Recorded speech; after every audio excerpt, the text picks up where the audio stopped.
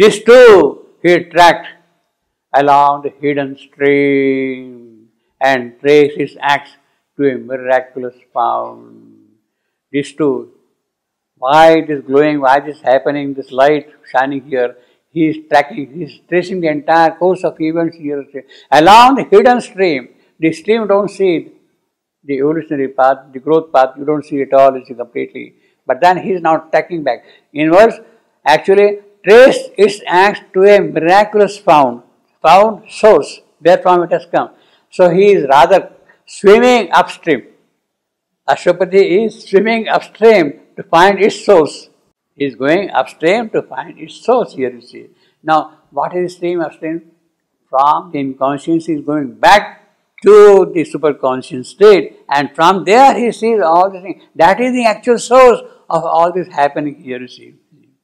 This too he tracked along this hidden stream, the path of evolution, the process of evolution, the sequence of things happening, they are not known to us, but they are now seen like a phosphorescence. You have shone black light on it, and then they are revealing themselves completely here. See, This too he tracked along the hidden stream and traced its acts to a miraculous found. Really, it's a miracle that things have started happening.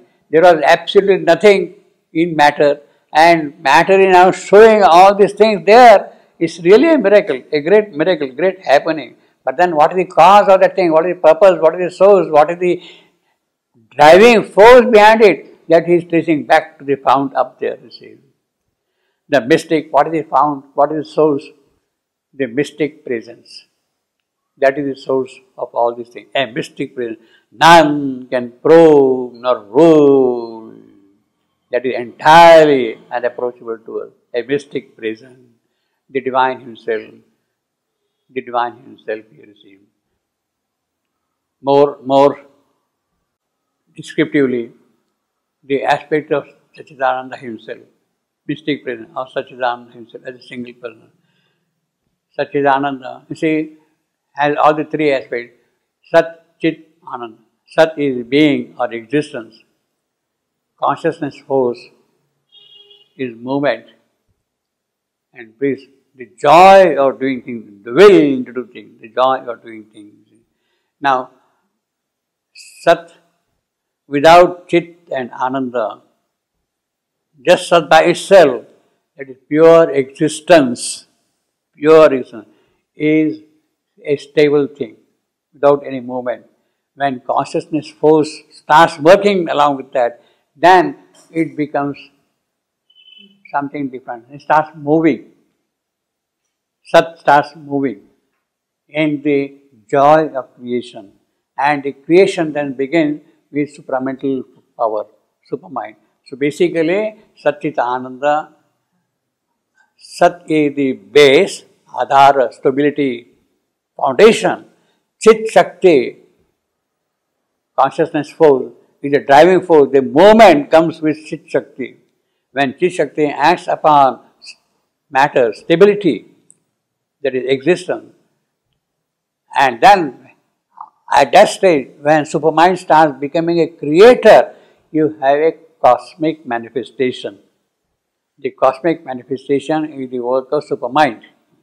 He is the creator, cosmic manifestation the work of supermind. Satchit are the basis of that thing in Ananda. And when the cosmic works begin, that begins with supermind, you see. Supermind is a creator in essence, you see. The foundation, the basic driving force is coming from Satchit. Of course, this is our way of understanding, but in reality, they are simultaneously one together. Satchitananda is one single entity. It may work this way or that. A poise be there, see. A mystic presence. That is the mystic presence of that thing. He is tracing it back all the way up to Satchitananda, see, mystic presence. Creator of this game of ray and shade in this sweet and bitter paradoxical life. Yeah, for us it looks a paradoxical life. But for the spirit up there, there is no paradox at all, you see. Paradoxical life. Ask from the body the soul's intimacy, and by the swift vibration of a nerve links its mechanic throbs to light and love. So he is tracing back to the source they found. He is swimming up nowhere, up miraculous found. And what is he? A mystic presence. And there he links the mechanic throbs to light and love. All these movements, which are kind of mechanical to he links them to light and love, you see. It summons the spirit sleeping memory, it, that presence, which is sleeping there. It summons the spirit's sleeping memory, sleeping. The spirit has taken a plunge into the inconscient, into the void, and it is sleeping there, but it is still carrying the memories of what it was, where from it has come. That does, he does not lose the memory. It summons the spirit's sleeping memory. So all this found which is there, his source from which he has to go, he is tracing it back, and there he summons the memory. Up from the subconscious depths, beneath time's foam, oblivious of the flame of happy truth. They are not aware of the flame of happy truth themselves, you see, arriving with heavy eyes that hardly see, they come disguised as feelings and desires. Who? Sleeping memories. Sleeping memories. They come disguised as feelings and desires. Like weeds upon the surface floats a while, this float a while for a while, and rise and sing in a somnambulous, again sink back into sleep, into somnambulous time. So he is seeing now all these things happening and uh, uh, lapsing back into the thing. Impure, degraded, though her motions are her life, her motions are always a heaven truth broods in life's deep because there is that mystic presence. Because that there is that mystic presence, you see. That mystic presence is there. Therefore, impure, degraded though our motions are, that is what we see today here. Always a heaven to broods in life's deep, in the depths of life, in our obscurest members. Burn that fire in our obscure members burn that fire. Really, we are not aware of it. Oh, divine Agni.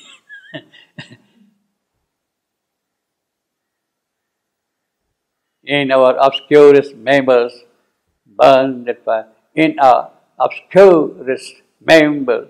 So in our obscure I am a member burn the fire. Perfectly iambic lines. See a touch of God's rapture in creation's acts. That is what he sees now. After all, it is the bliss, Satchidananda's bliss part of it is there, a touch of God's rapture. So even while an insect is crawling or a plant is moving, there is a kind of a rapture of that, you see. A lost remembrance of felicity.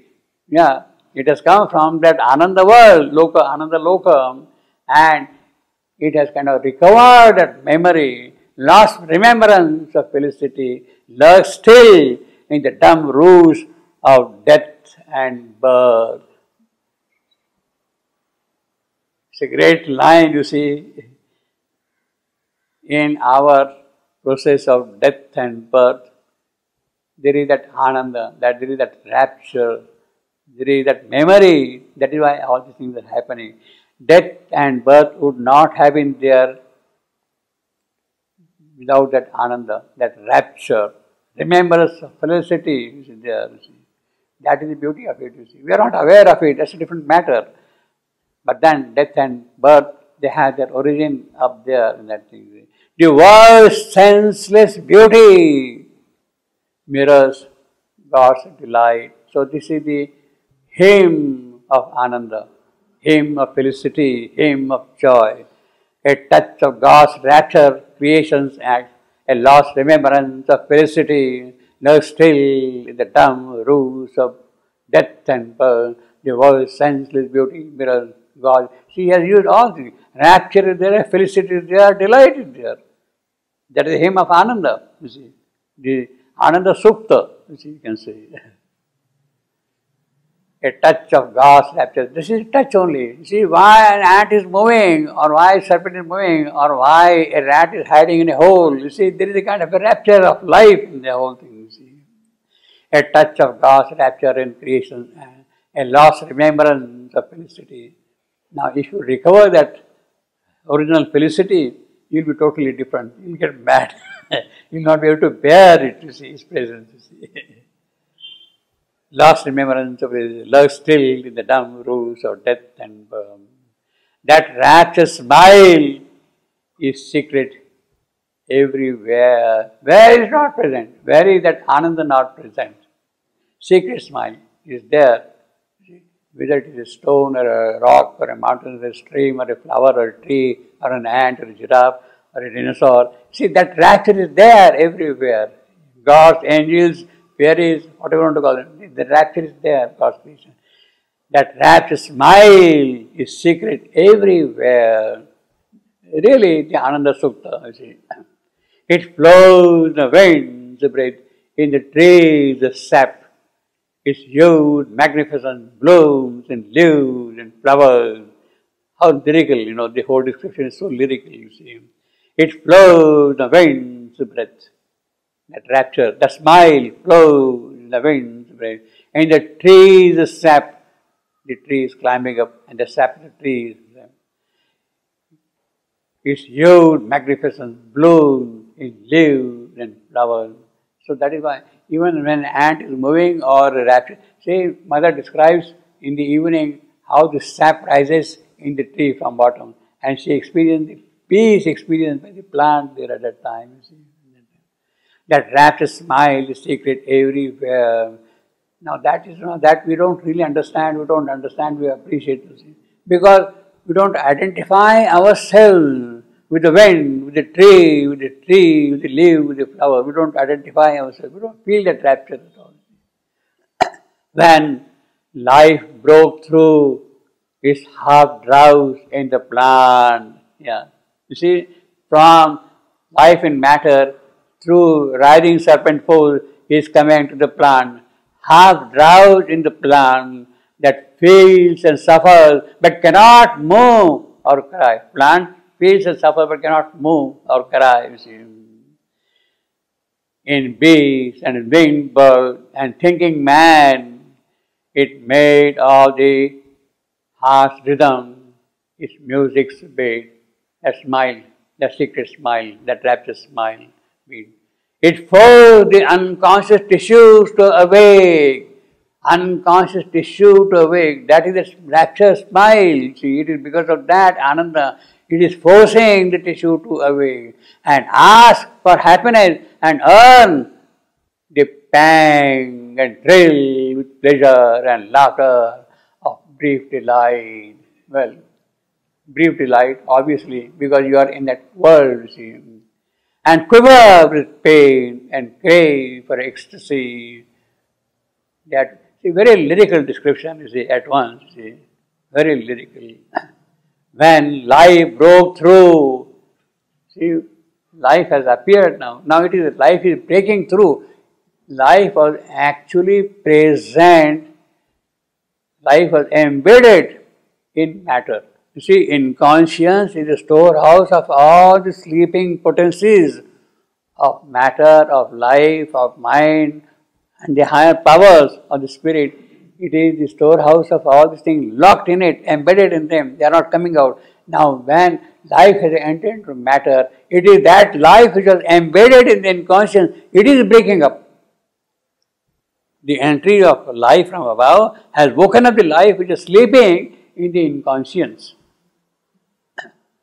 the feels and suffers but cannot move or cry. In beast and winged bird and thinking man, it made of the harsh rhythm its music's beat. Harsh rhythm is you can music beat. Joyous, happy thing. It forced the unconscious tissues to awake and ask for happiness and earn the pang. Yeah, earn the and earn the pang. That is necessary because that movement is required. It may mean suffering, pain, but that is an aspect of rapture, of joy. That is also an aspect of rapture and joy. and ask for happiness and earn the pang, earn the pain. See, happiness, the earning of happiness is a pang. You earn pang. And thrill with pleasure and laughter of brief delight. And as I was telling you, when you are living, you are earning death. You are earning death. Because it is that death, that earning, you are acquiring death, earning. It is that which will make you grow further, make you progress further. That pang is there which will bring more delight, higher delight, a greater delight constantly sees you and thrill with pleasure and laughter and brief delight, and quiver with pain and crave for ecstasy. See, this is a great improvement, great change which has taken place in life itself. Matter were dull, without any movement, without any action, without any sense, without any perception at all, completely in the absence of life. Now, life in her own world, in her own domain, is nothing but a continuous, ceaseless activity, action, movement, without any break at all, completely anywhere you see. Unbroken. Life was a joy, an unbroken joy. In the world of bliss, life was an unbroken joy, continuous joy, joy. No question of pain, no question of suffering, no question of uh, difficulty, sorrow, nothing. She was absolutely only in the world of bliss, continuous joy. Now, it is that continuous joy which gets broken the moment life enters into matter. That continuous joy of life which is there, that gets broken. Then you have got pain and joy, happiness and pain, suffering, sorrow, suffering. Now that happens, that in fact, that breaking of continuity of joy in the world of life alone is not a very desirable thing when things have to grow. Because you always have joy, you are not really going there. You get stuck with that. In order to grow, it is necessary to break it. And in that way, the entry of life in matter has initiated the process of growth of life itself. The process of growth of life has begun with the entry of life in matter. Otherwise, life was not growing. It was happy all the while. Same, same, same everywhere. Joyous is complete. But if life has to grow, has to bring more activities of spirit into action, then it has to break. And therefore, the entry of life in matter is not only a gain for matter, but is also a gain for life. Life is getting, see, I got life, death, life, death, life is getting broken. It is necessary for a certain process of growth, see. There has to be joy and there is suffering. It is that suffering and joy, that cycle will make grow more and more of joy, see.